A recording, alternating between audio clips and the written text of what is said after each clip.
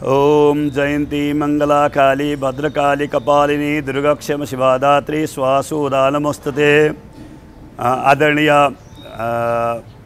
श्रोतृवृन्द दर्शकवृन्द आज हामी यो नवदुर्गाको अ, प्रथम चरणमा घटस्थापनासँग सम्बन्धित विषयमा अ, केही चर्चा गर्ने गरिरहेका छौँ।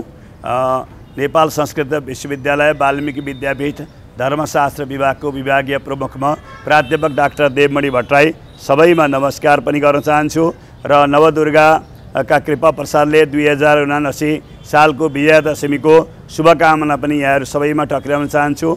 वास्तवमा के हो त भनेदेखि हाम्रो जो शक्तिको आराधना गर्ने पर्व भनेको यो जुन नवदुर्गाको पर्व हो शारदीय नवरात्र भनेर जो सुरु हुँदैछ यसले हामीलाई के गर्छ भनेदेखि हामीलाई आयु आरोग्य ऐश्वर्य यी सबै कुराहरू दिनेका साथसाथै हामीले के कस्तो काम गर्ने हो त्यसपछि हाम्रो ऊर्जा शक्ति के कसरी प्राप्त गर्न सकिन्छ र हाम्रा केही त्यस्ता खालका नराम्रा नकारात्मक सोच रहेछन् धारणा रहेछन् विचार रहेछन् भए पनि दुर्गाका प्रसादले हामीले शक्ति आर्जन गरेर हामीले त्यसबाट सबै कुराहरू प्राप्त गर्न सक्छौँ। त्यो प्राप्त गर्ने भएकै कारणले यो नवरात्रभरि दुर्गाको नौ दिनसम्म उपासना आराधना पाठ पूजा इत्यादि गरिन्छ र त्यसको प्रारम्भिक दिन भनेको घटस्थापना हो।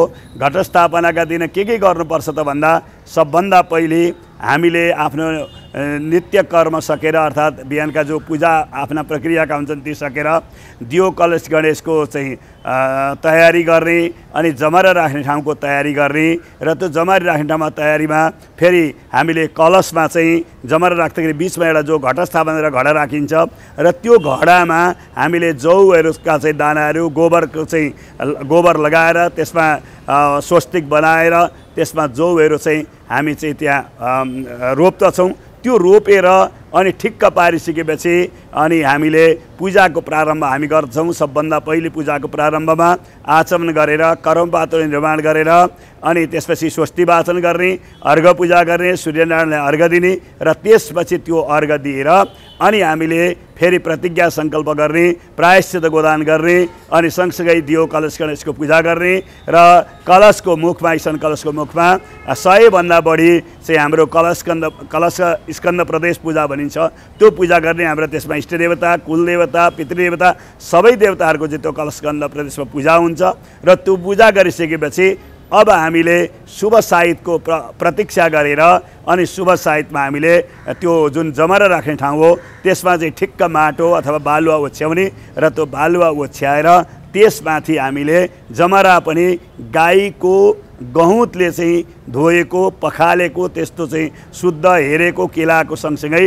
त्यसले धोएर कीटाणुनाशक बनाएर अनि फेरि हामीले जस्तो यस वर्षको शुभ साहितको सन्दर्भमा दस बजेर तेइस मिनटमा चाहिँ जो हाम्रो साहित छ र त्यो दस बजेको तेइस मिनटको साहितमा चाहिँ हामीले त्यो शुभ साहितमा हामी के गर्छौँ त भनेदेखि बचत खाताहरू मध्ये सबैभन्दा बेस्ट।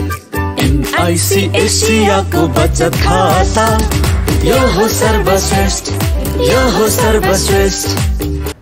जमरा राख्नका लागि त्यहाँ हामी सबभन्दा पहिले त्यो जो घडा साहितको घडा छ त्यसलाई चाहिँ हामीले चाहिँ कलशको स्थापना गर्छौँ अर्थात् त्यो घडाको स्थापना गर्छौँ र त्यो घडाको स्थापना भनेको नि भगवती देवीको प्रधान कलश भएकाले त्यसको स्थापना गरिन्छ र त्यो स्थापना गरेको जो कलश हो र त्यो स्थापना गरेको जो कलश हो त्यो कलश स्थापना मन्त्रपूर्वक गरेर अनि कलश पूजा गरेर त्यसमाथि भगवती दुर्गा देवीको हामी चाहिँ आराधना गर्छौँ।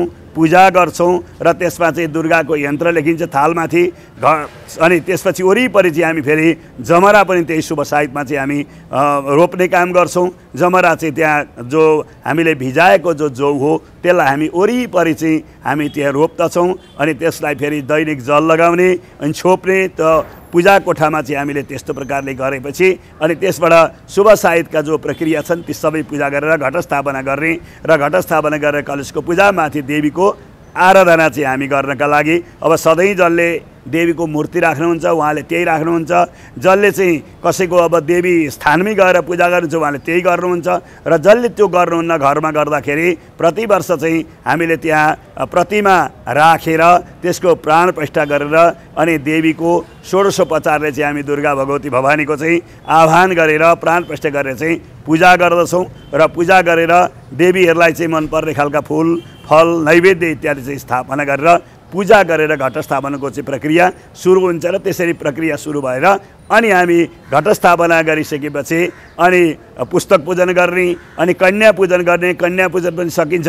प्रतिदिन एउटा एउटी एउटी कन्या गर्ने सकिँदैन। तिनै कन्यालाई नौ दिनसम्म चाहिँ पूजा गर्ने त्यो पनि नसकेदेखि नौ दिनका दिन चाहिँ फेरि नौवटी कन्यालाई फल वस्त्र छाता जुत्ता इत्यादि दिएर चाहिँ पूजा गर्ने कुष्माण्ड बलि बलिदान गर्ने प्रतिदिन नरिवलको बलिदान गर्ने अनि पुस्तक पूजा गर्ने चण्डी एक आवृत्ति चण्डी चाहिँ पाठ गर्ने अहिले नवरात्रको समयमा शुक्र अस्त छ यद्यपि शुक्र अस्त भए तापनि हामीले गरिरहेका सधैँका कुराहरू गर्नलाई यसमा बाधा छैन। त्योभन्दा बढी प्रकारका विशेष प्रकारका अनुष्ठानहरू त्यस्ता कर्महरूलाई मात्रै निषेध। हो काम्य कर्मलाई निषेध हो नित्य कर्म नैमित्तिक कर्म निषेध होइन। अहिले जो यो हामीले गरेको नवरात्र यो वार्षिक नित्य कर्म अन्तर्गत पर्दछ त्यसैले वार्षिक नित्य कर्म गर्नमा कुनै प्रकारको बाधा छैन। यसरी हामीले चाहिँ चण्डीको आराधना गरेर अनि एकावृत चण्डी पाठ गरेर अनि आरती पुष्पाञ्जली गरेर अनि हामीले पहिलो दिनको कृत्य सक्छौँ। बिहानमा फे अनि फेरि बेलुका चाहिँ हामीले धुपबत्ती धुपदीप नैवेद्य अनि त्यसपछि आरती पुष्पाञ्जली गर्ने घरका सबै परिवारलाई सरिक गराउने यस्तो गरेर चाहिँ सकिन्छ। आफैले पाठ गर्ने सकिँदैन ब्राह्मणद्वारा पाठ गराउने यस्तो गर्नुपर्छ र नौ दिनसम्म चाहिँ देवीको जो उपासना आराधना गरिन्छ त्यो आराधनाले गर्दा हामी शक्ति सबल हुन्छौँ हामीमा ऊर्जा सञ्चय हुन्छ हामीमा ऊर्जा प्राप्त हुन्छ विशेष प्रकारको भगवतीको कृपा प्रसाद अनि नौ दिनसम्मका कृत्य गरेर अनि हामीले चाहिँ विजयादशमीका चाहिँ साहित्यमा चाहिँ विसर्जन गरेर हामी टिका लगाउँछौँ र सामान्यतया मैले यति नै आज यो पहिलो घट स्थापनासँग सम्बन्धित कुरा के हो भनेदेखि शुभ साहित्यमा घटको स्थापना पनि गर्ने त्यसपछि देवीको पूजा गर्ने अनि चण्डी पाठ गर्ने अनि देवीको आराधना गरेर आरती पुष्पाञ्जली गरेर सक्नुपर्छ। यो क्रम चाहिँ पहिलो दिन दोस्रो दिन तेस्रो दिन चौथो दिन पाँचौँ दिन छैटौँ दिनसम्म पनि यही रूपमा चल्छ। यतातिर अनि नित्य पूजा गर्ने क्रम पनि यही रूपमा चल्छ र अब सातौँ दिनको चाहिँ विशेषता छ। त्यो कुरा चाहिँ फेरि पछि म अनुरोध गर्नेछु। ओम नमो देव्यै महादेव्यै शिवायै सततम नमः। नमः प्रकृते भद्रायै नियत प्रणत स्मतम। ओम दुर्गा भवानीको जय।